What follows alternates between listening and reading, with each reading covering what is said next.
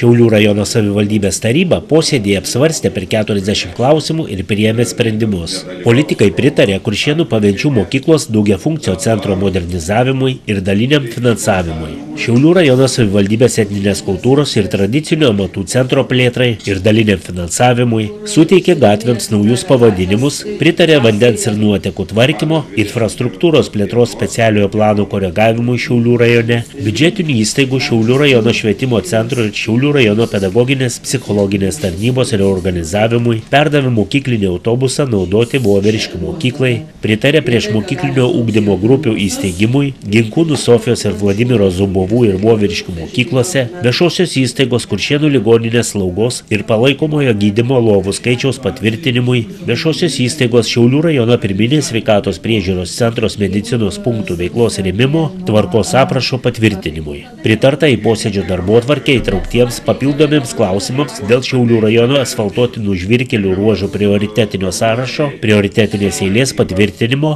dėl garantijos suteikimo viešai įstaigai Šiaulių rajono pirminės sveikatos priežiūros centrui, ketinančiam sudaryti kredito linijos sutartį laikinajam pajamų trūkumui padengti. Svarstydami nekilnojamojo turto mokesčio tarifo nustatymo 2018 metams, tarybos nariai nustatė mažesnį negu praėjusiais metais 0,65 procento nekilnojamojo turto mokestinės vertės juridiniams ir fiziniams asmenims ir 3 procentų nekilnojamojo turto vertės juridinių ir fizinių asmenų statiniams ir patalpoms, kurie naudojami ne pagal paskirtį arba yra neprižiūrimi. Svarstant klausimą dėl Šiaulių rajono savivaldybės tarybos 2014 m. gruodžio 11 15 dienos sprendimo dėl viešame aukcione parduodamo Šiaulių rajono savivaldybės nekilnojamojo turto ir kitų nekilnojamųjų daiktų sąrašo patvirtinimo pakeitimo savivaldybės tarybos posėdėje dalyvavusio Lietuvos nepriklausomybės akto signataro Audriaus Rūdžio prašymu buvo nuspręsta atidėti trims mėnesiams sprendimą dėl vieno iš dviejų pastatų, kurios norima įrašyti į viešame aukcione parduodamų Šiaulių rajono savivaldybės nekilnojamojo turto ir kitų nekilnojamųjų daiktų sąrašą.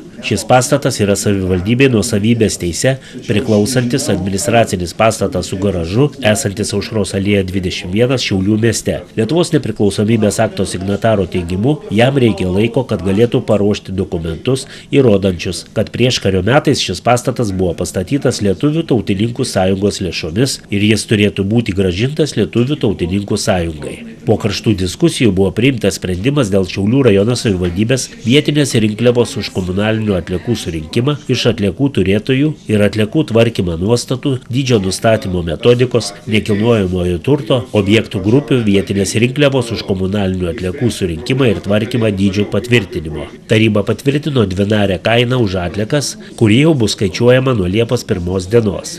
E, keičiasi apmokestinimo tvarka pagal nekilnojamo turto objektus. E, dabar daugiabučio namų gyventojams ir individualiams namams e, e, būtent rinkliavos dydžiai susidarys iš dviejų dalių - pastoviosios ir kintamosios. Bendras daugiabučio namo gyventojų rinkliavos dydis sudarys 26 eurus 06 centų. Individualaus namo gyventojai susidarys iš dviejų dalių, tačiau ta pastovioji dalis yra 18,23 plus kintamoji dalis, kuri yra privaloma, tai yra e, jeigu konteineris yra 120-140 litrų talpos, tai 0,76 centai dauginama iš 12 kartų. Jeigu gyventojai pageidauja, kad iš jų būtų išvežamos atlikos dažniau, tai e, daugiau negu 12 kartų reikės mokėti papildomai. E, tokia pat tokia pat tvarka ir su, reiškia, 240 litrų talpos konteineriais. Pastovioji dalis yra 18,23 ir vieno konteinerio 240 litrų pakelimo kaina yra e, euras 502 centai. Dauginant iš 12 kartų, tai sudaro 18,24 euro centų. Išvežamos šiukšlės 12 kartų čia per mėnesį? 12 kartų per metus, tai yra nerečiau kaip vieną kartą per mėnesį. Toks yra išvežimas e, rekomenduojamas ir mes negali, negalėtumėm jo retinti. O jeigu gyventojai turi šiukšlių daugiau, jie papildomai gali užsisakyti išvežimą? Taip, yra nustatyta atskira kaina priklausomai nuo, nuo konteinerio talpos. Tai tokiu atveju, jeigu konteineris yra 120-140 litrų talpos, tai jo išvežimo kaina vieno karto būtų 706 centai. Jeigu konteineris būtų 240 litrų talpos, tai vieno, vieno karto išvežimo kaina būtų euras 52 e, euro centai. Tai Tai 12 kartų privalo būti, o jeigu gyventojai pagėdauja, kad iš jų būtų atlikos vežamos dažniau, tai jie galėtų išstumti konteinerį. Faktiškai vis tiek vežėjas važiuos tais pačiais maršrutais ir, ir, ir grafikai nesikeis, ta, tačiau tai būtų už papildomą mokestį. Kadangi rinkliavos nuostatai yra, yra dydžiai patvirtinti, yra visa tvarka įsigalioja nuo Liepos pirmos dienos, yra sąskaitas gyventojai gavo iki Liepos pirmos dienos, tai tvarka ir visi skaičiavimai bus atliekami po Liepos pirmos dienos. Tai yra, reiškia, e, grinai pusmečio, tai faktiškai jeigu numatoma per metus 12 išvežimų, tai per pusę metų numatoma 6 išvežimai. Visi papildomi, už visus papildomus išvežimus reikėtų apmokėti po naujų metų, kada e, įmonė pateiks pilnus skaičiavimus tai tas bus, tie išvežimai bus įkalkuliuoti į mokėjimo pranešimus. Savivaldybės tarybos posėdėje svarstyti ir kiti klausimai, priimti sprendimai.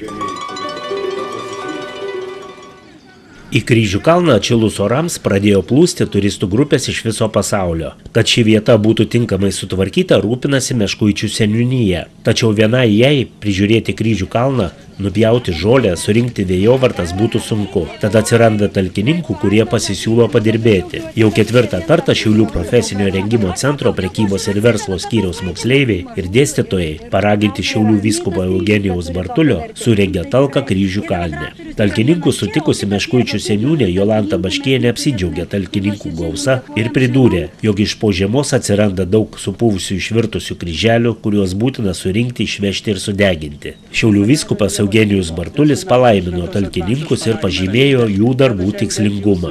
Na, kaip visuomet, kryžių kalnas pasidaro toksai chaotiškai nelabai gražus, pasakyčiau.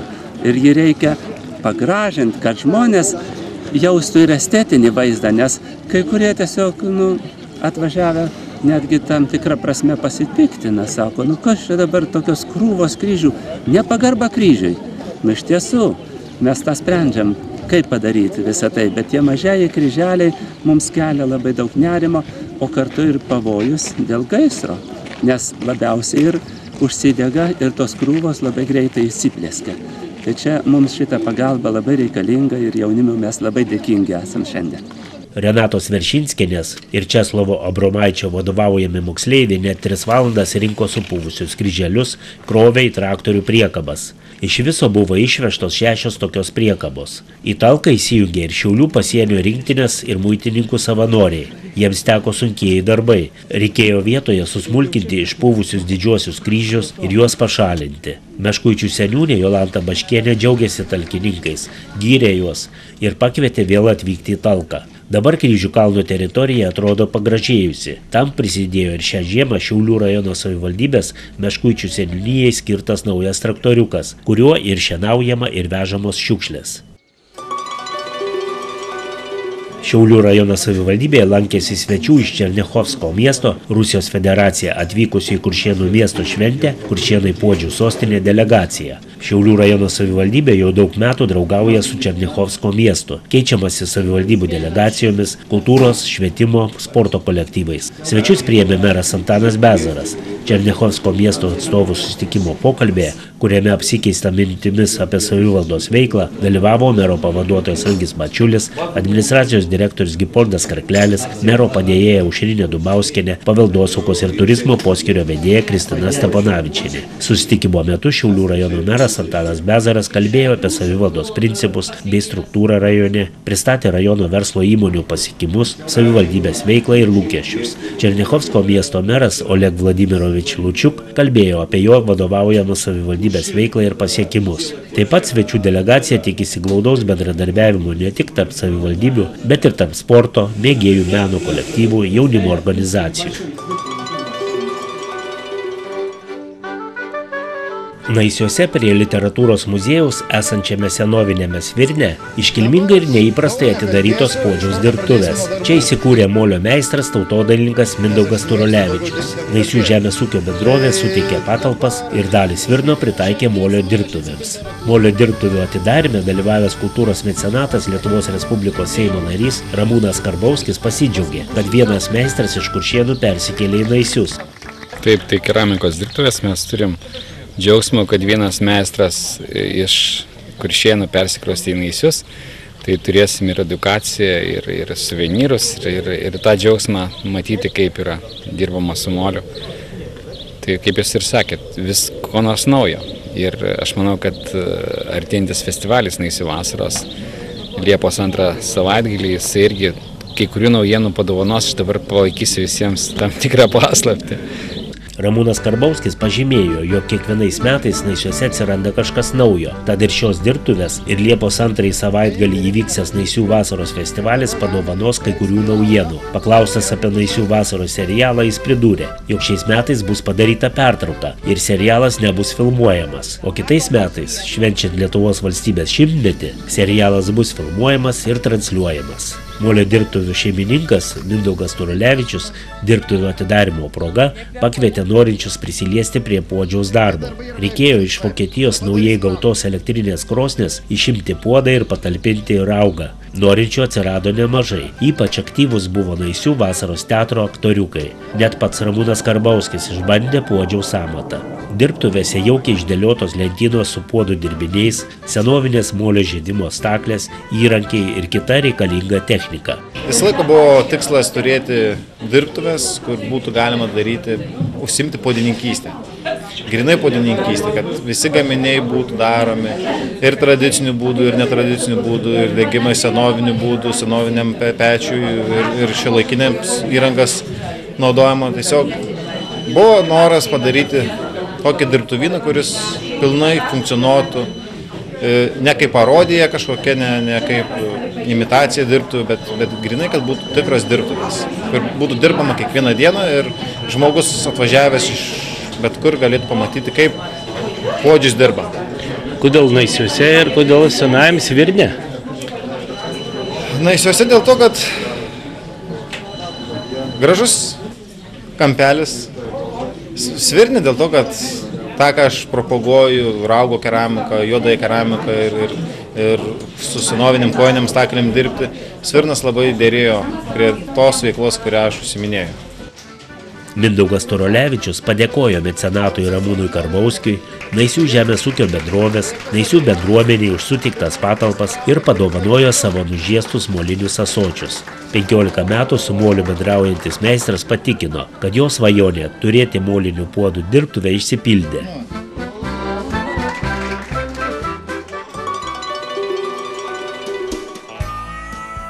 O dabar kviečiame apsilankyti Kuršėnuose, kur vyko miesto šventė Kuršėnai Puodžių sostinė. Šventė prasidėjo Šiaulių rajono savivaldybės kultūros centro parodų salėje. Čia atidaryta Lietuvos Puodžių karalių meninių darbų paroda, kurioje eksponuojama aštuonių Puodžių karalių ir dviejų pretenduojančių tapti devintuoju Puodžių karaliumi darbai. Parodos atidarimo proga savo šokius dovanojo Kuršėnų Stasio Anglickio mokyklos liaudiškų šokių studijos šokėjai. Su švente susirinkusius sveikino Šiaulių rajono savivaldybės mero pavaduotojas Algis Mačiulis, Kuršienų miesto seniūnas Vytautas Gedmontas, Šiaulių rajono savivaldybės administracijos kultūros skyriaus vedėjo pavaduotoja Laimutė Marytė Varkalienė ir Lietuvos Respublikos Seimo pirmininko pirmosios pavaduotojos Rimos Baškienės padėjėja Ada Grakauskienė. Gegužės 20 dieną nuo Kuršienų autobusų stoties link miesto parko pajudėjo šventinė eisena. Motorizuotų priemonių paradas, kviečiantis visus ateiti į miesto šventę. Eisenoje dalyvavo Kuršienų miesto įstaigos, įmonės, tarybos nariai, bendraminčių klubai, mokyklos ir bendruomenės. Eisenos dalyvių sveikino savivaldybės vadovai Lietuvos Respublikos Seimo narys Juozas Rimkus. Po įspūdingos eisenos vyko ir šventinis bėgimas, skirtas Kuršienų miesto gimtadieniui. Kuršienams 436. Šventinio bėgimo simbolinis maršrutas 436 metrai. Didysis maršrutas 4360 metrų. Didžiojo bėgimo nugalėtojų tapo Simonas Steponavičius. Na, jūs finišavot pirmas, kaip trasa nėra su, sunkiai, tokia visai sudėtinga, aišku, vingiuota, bet gerai, kad visur stovėjo palei kampą tie savanoriai, nurodė puikiai, nesiskundžia nieką, smagus bėgimas buvo. Tai o ar tikėjotės laimėti? Kaip ir tikėjausi laimėti. Dėl to aš iš čia esu, kad nugalėčiau. Kartu su bendruomenė mažąjį maršrutą įveikė ir savivaldybės meras Antanas Bezaras, jo pavaduotojas Algis Mačiulis, savivaldybės kultūros centro atstovai, seniūno pavaduotoja Giedrė Karkalienė, savivaldybės tarybos nariai. Kuršienų miesto parke vyko tautodailininkų, amatininkų ir prekybininkų mugės, įvairios pramogos vaikams ir suaugusiems. Vyko puodžių varžytuvės, o 17 val. prasidėjo šventinis koncertas, kurį vedė vaikų ir jaunimo teatro įkaras vedėjai. Gruojant Šiaulių rajono savivaldybės kultūros centro pučiamųjų orkestrui, aštuntasis puodžių karalius Vidmantas Vertelis, lydimas Šiaulių rajono metų kultūros darbuotojos Loretos Lydėgienės, uždegė simbolinę ugnį. Kuršieniškius ir miesto svečius sveikino Lietuvos Respublikos Seimo pirmininko pirmoji pavaduotoja Rima Baškienė, Šiaulių rajono meras Antanas Bezaras, Kuršienų miesto seniūnas Vytautas Gedmontas bei Kaliningrado srities Černiechovskio miesto meras Oleg Vladimirovič Lučiuk. Koncerte šoko kultūros centro vaikų liaudiškų šokių studija Dėmedėlis, kultūros centro šio laikinių šokių grupė Džem, kanglėmis grojo Kuršienų meno mokyklos žemaitiškų kanglių ansamblis, Taip pat koncerte pasirodė meno mokyklos styginių instrumentų ansamblis, violončelio ansamblis,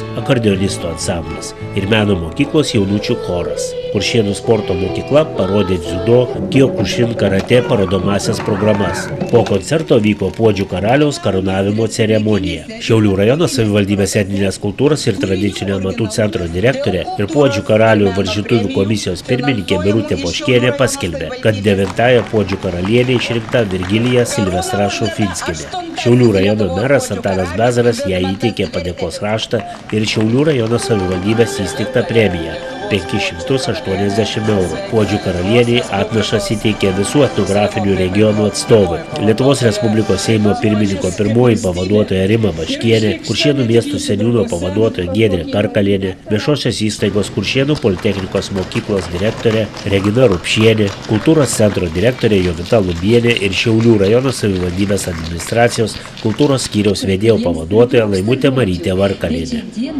Visos bėdos ir lygos dinksta, kaip aš paimu į rankas molį.